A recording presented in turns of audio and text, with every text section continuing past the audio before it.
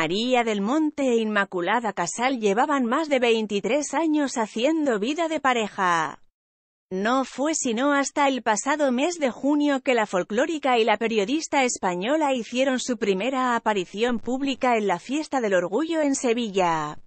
La celebración fue oportunidad para que María del Monte se confesara abiertamente sobre su orientación. Desde allí, sus apariciones han sido de lo más llamativas, pues se ha convertido en una figura referente.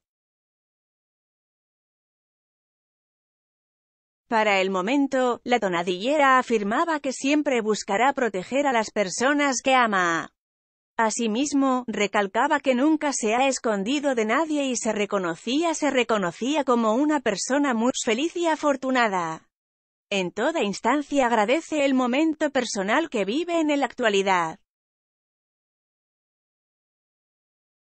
Tras celebrar su boda con Inmaculada Casal en una ceremonia discreta y en compañía de sus más íntimos amigos, María del Monte ha pronunciado unas palabras que nos dan luces sobre el momento que vive en la actualidad. La televisiva acudía este miércoles a los premios favoritos 2022 de la revista Sevilla Magazine, en cuyo evento esperaba ser galardonada.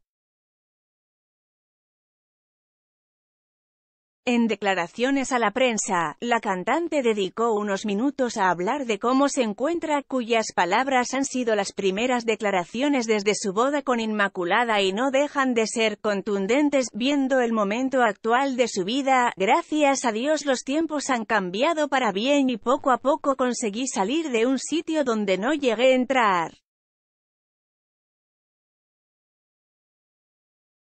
Sobre su exposición, María del Monte no ha querido entrar en detalles y simplemente se ha limitado a afirmar que nunca ha escondido su relación. Di un pregón, soy consciente de lo que hice porque me salió del corazón, pero mi vida quiero que siga siendo mía y ya está.